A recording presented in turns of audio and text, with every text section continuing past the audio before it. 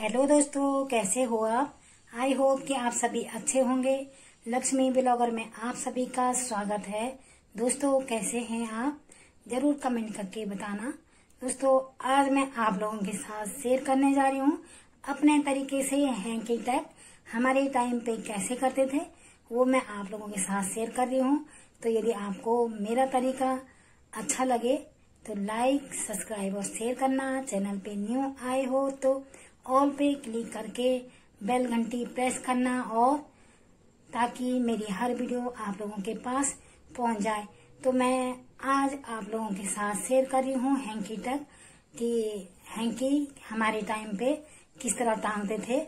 और अब तो मतलब पर्स हो गए, बैग हो गए हैंकी उनमें रखते हैं लोग। लेकिन हमारे टाइम पे हैंकी टांगते थे लोग, जिनके छोटे छोटे बच्चे होते थे, या कहीं किसी पार्टी में चले गए।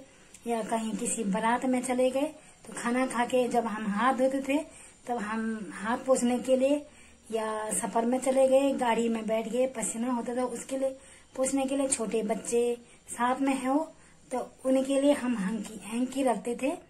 तो चलो चलते हैं, मैं दिखाती हूँ आपको कि हैंकी टैग हमारे टाइम पे कैसे करते थे, और अब मैं आपको दिखा रही हूँ। तो आज मैं करने जा रही हूँ हैंकी टैग।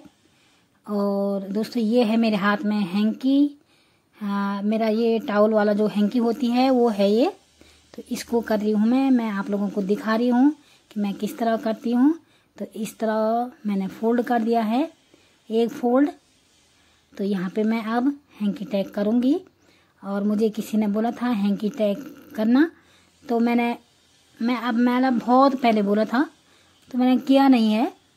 तो मैं अपने, मैंने सोच सोच ही रही थी मैं, मैंने कहा मैं अपने हिसाब से, और ये मैंने दूसरा हैंकी टैग दूसरा फोल्ड कर दिया तो दूसरी साइड से मैं ऐसे करूँगी। और दोस्तों हैंकी टैग करना कोई गलत काम नहीं है, क्योंकि हैंकी हमारे टाइम पे भी टांगते थे, और जैसे कि साथ में बच्चे होते थे, गाड़ी के सफ़र में जाना है तो हम लोग हैंकी ले जाते थे बच्चों के साथ, और इस तरह मतलब कि जो दूसरा वाला स्टेप किया था मैंने वैसे टांग के हम ले जाते थे। मतलब ये बारीक वाला नहीं करते थे, दो जो स्टेप पहले बताए, उस तरह मैं टांगती थी और इस साइड टांगते थे ताकि निकालने में हैंकी आसान हो जाए और फटक से बच्चों के साथ चाहिए होता था। तो बार बार जैसे मतलब बच्चे आ जाते हैं, खाना खा के कहीं किसी पार्टी में चले गए, बच्चे आ गए खाना खा के मम्मी मेरा मुँह पोछ दे। तो मेरे पहले से ही आदत नहीं है कि पल्ले से बच्चों का मुँह पोछूं। मैं अपने पास हैंकी रखते थे हम और हमने मतलब यहाँ से निकाला फटक से और अपने बच्चों का मुँह पोछ दिया। और ख़ुद भी जैसे किसी पार्टी में चले गए हमारे यहाँ। पंगित में खाते हैं उत्तराखंड में। पहले पंगितों में खाते थे, अब तो चलो सभी लोग स्टैंड में खाते हैं। लेकिन कुर्सी में, टेबल में। लेकिन पहले हमारे टाइम पे पंगीत होती थी, नीचे ज़मीन पे बैठ के खाना खाते थे, शादी ब्याह में। अभी भी हैं, अभी भी काफ़ी लोग मतलब पंगीतों में खाते हैं। जो मतलब ये बाहर का नहीं खाते हैं तो वो पंगीतों का खाना खाते हैं। और तो इस तरह हमें हैंकी टांगती थी और अपने बच्चों को अपने साथ ले जाती थी। तो मतलब कि तब उनके हाथ मुँह पोछने के लिए मैं हैंकी ज़रूर रखती थी अपने पास। इस तरह से टांग के और कोई भी हो, कैसे भी हो तीनों स्टेप जैसे भी मतलब ऐसे में, ऐसे ही टांगती थी मैं। तो मैं आप लोगों के साथ शेयर कर रही हूँ ये। तो आप लोगों को कैसा लगा तो ज़रूर कमेंट करना। तो इस तरह मैं वीडियो बना रही थी आज। तो मैंने कहा, चलो मैं आप लोगों के साथ शेयर कर देती हूँ इस वाली वीडियो को। और फटक से निकाला, बच्चों का मुँह पोछा। और अपना भी है तो इस तरह मेरी हैंकी टैग हो गया और अभी यहाँ पे मैं बोल रही हूँ कि हम फटक से निकाल के अपने हाथ पे, अपने हाथ भी, जैसे हम भी लोग जाते थे शादी ब्याह में तो अपना भी हम हैंकी लेके जाते थे। मतलब आदत नहीं है, पहले से ही नहीं है मेरी आदत कि जैसे मतलब लोग साड़ियों पे, धोती पे और ऐसे ही पोज देते हैं। कहीं तो मेरी पहले से आदत नहीं है। मेरी मम्मी बोलती थी, ऐसे नहीं पूछते हैं बच्चे। तो इस तरह हम अपने पास रुमाल रख के जाते थे। तो ये बस इसी तरह रखती थी मैं। और तब तक कोई आ गया था।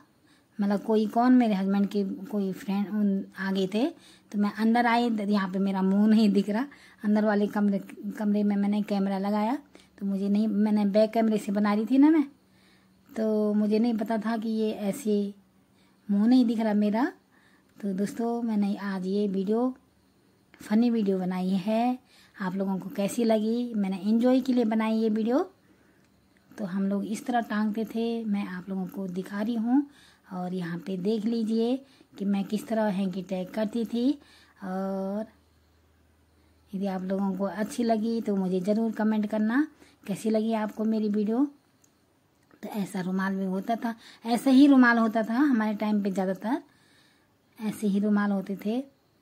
तो ये टावल तो तब बाद में मतलब ये, बाद में लाने बैठी मैं। जब मैं खुद मार्केट जाने बैठी तो मैंने मतलब कि देखती थी मैं जो अच्छे लगते थे, फिर उनको तब खरीदती थी।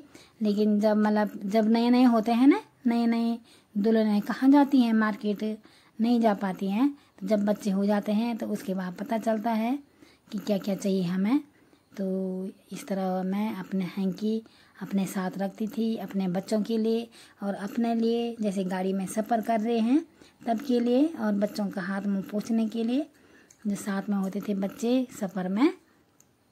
और बच्चों की स्कूल के लिए ऐसे वाले रुमाल हम टांग के देते थे। तो दोस्तों, कैसी लगी आपको मेरी वीडियो? दोस्तों, वीडियो अच्छी लगी तो लाइक करना चैनल पर न्यू आए हो तो सब्सक्राइब करना बेल घंटी प्रेस करना ताकि मेरी हर वीडियो आपके पास पहुँच जाए। बाय